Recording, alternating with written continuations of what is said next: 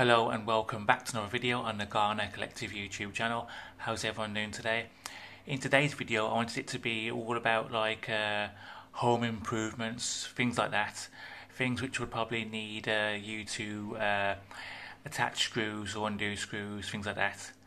And usually when we're like uh, removing screws or putting screws in, we possibly might damage the screw head, either with the wrong bit or with uh, too much force, which can actually uh, damage the screw head completely and thread it.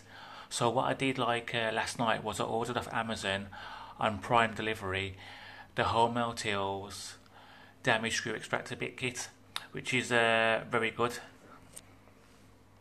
So this is what it came in, a nice blue box, and uh, it removes like uh, damaged screws and bolts and stuff like that. And their little catchphrase is drill out flip bit and extract.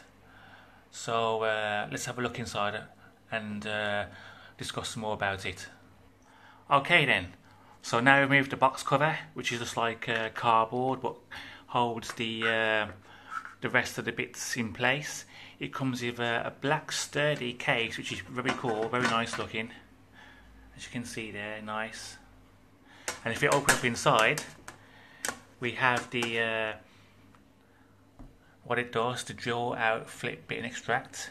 As you can see there, easy, done in like 10 seconds. And uh, here we are, high quality uh, steel bits.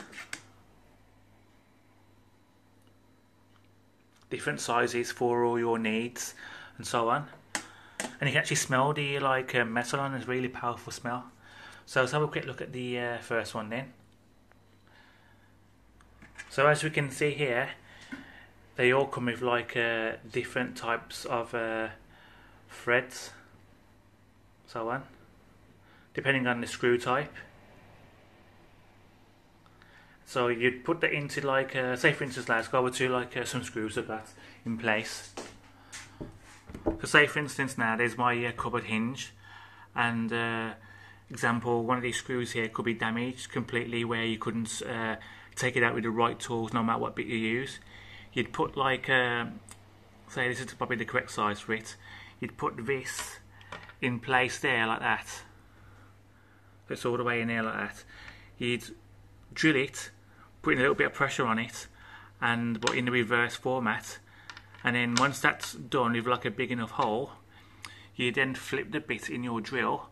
So if you go from this end here to this end, and uh, that would then fit in place there like that as you can see it's a good fit. And putting the putting the drill in reverse and a bit of pressure on it that would actually extract the screw out. Impressive isn't it? And uh, as you can see like so as you can see like uh, in the uh, container for it it's all different uh, types of like uh, heads and stuff like that for it